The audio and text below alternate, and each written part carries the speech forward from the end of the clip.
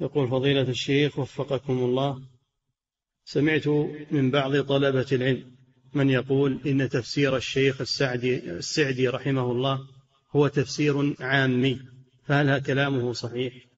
هذا ما يعرف التفسير ولا يعرف تفسير الشيخ السعدي تفسير علمي وأسلوبه سهل فهو تفسير ممتاز جيد وهو مضمن لكلام الشيخين ابن القيم الشيخين ابن تيمية وابن القيم. لا سيما في أمور التوحيد والعقيدة. وهو تفسير جيد. نعم.